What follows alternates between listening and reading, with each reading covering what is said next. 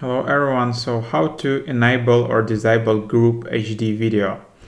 Uh, so basically first this feature is only available on Zoom plans, paid plans, Pro Business and Enterprise. Uh, so it's super easy, you need to sign into Zoom web portal, so zoom.us uh, and then go to account management and to account settings which you can access at zoom.us slash account slash setting here uh, and then just navigate to group HD and enable that. So you can then choose standard HD or full HD. And then, yeah, so there you have it. You can enable that for a specific group.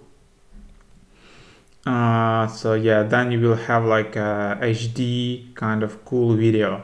But sometimes you just want to make sure that this is disabled because uh, if you have uh, low internet speed, uh, it can consume a lot of bandwidth and uh, or you are on cellular connection uh, even more. It can consume a lot of data.